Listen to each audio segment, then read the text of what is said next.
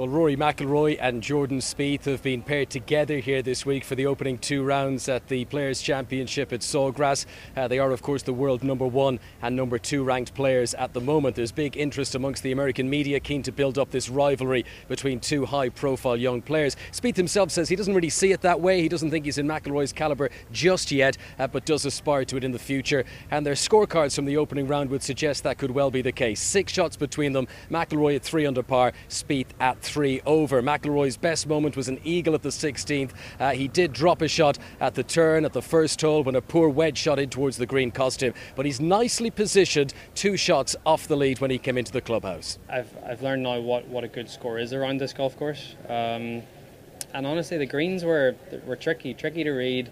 Um, you know, there's a re- there's a really good pace on them. They're different to last week, um, and a lot grainier than last week as well. So um, there's a couple of times when the green sort of threw, threw me off a little bit. But um, you know, if I keep giving myself opportunities, then you know, sooner or later, you know, a, a few putts are going to drop. Really, it was unbelievable. Some of the breaks today. I mean, Rory had a couple bad ones himself, but um, you know, I mean, 11 was really tough, and uh, I had a couple others, you know, where, where I hit putts I thought were really good, and then they just, you know, they lipped out, and sometimes those lip in for me, and um, it's just one of those days where um, I started maybe looking into it a little too much rather than just accepting it and going forward.